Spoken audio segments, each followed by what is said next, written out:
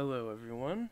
Um, I'm I uh, had to go through quite a bit to figure out what was wrong with uh, my installations, uh, or my mods. So I decided to make this video so that I can reference it in the future, and so other people can reference it.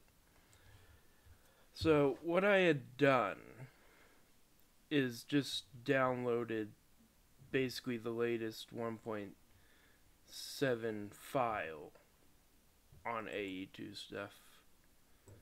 And same with Applied Energistics. Latest for. Well, Alright, I think I said that already. Um, but what you actually want to do. So. What. For Applied Energistics, it's okay to download the latest one. You can also download the stable one. But you have to remember for AE2 stuff, you have if you grab the stable one, it's okay to use this one. But if you want the most recent one, you actually have to go to Files, All Versions, 1.7.10 and download the one that says RV3. This is very important. If you download this one, it will only work with uh, this. This is the latest one.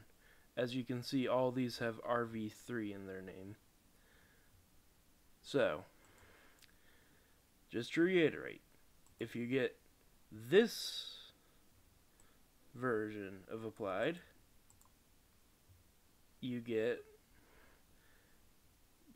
this version of AE2 stuff. If you get this version of Applied, you get this version of AE2 stuff. Alright?